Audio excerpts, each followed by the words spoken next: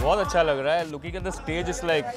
I think Covid के बाद situation के बाद पहली बार इतना बड़ा स्टेज देख रहा हूँ और it's good to see that everybody is freely uh, attending awards now and uh, appreciating suggestions made by people. Uh, I'm happy to be here. Uh, लोग तो बेहतरीन है। Uh, साची करके मेरी स्टाइल उन्होंने किया। तो she is always been the best बहुत जल्दी आएगी, बहुत सारी गुड न्यूज़ है। दिस वेटिंग कि अभी I don't like to speak about it till actually we are close to it so as soon as it's closer I let you know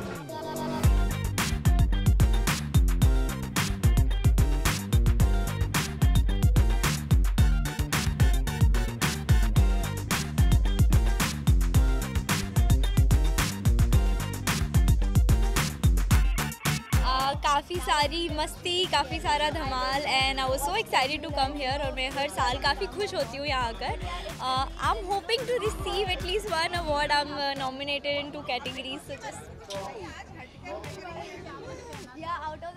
look के बारे में ओके okay, सो so, मेरा जो show है मीत उससे मेरा लुक काफ़ी अलग है एज यू कैन सी और मुझे एक्चुअली अलग लुक चाहिए था so I can see myself कि ओके मैं लंबे बालों के साथ भी कैसी दिखती हूँ टू सी दैट सो या this is my look little glittery shimmery just like me happening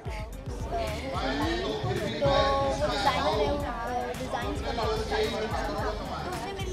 का नाम डिज़ाइन किया है यू नो काफ़ी कुछ होने वाला है, काफ़ी सारी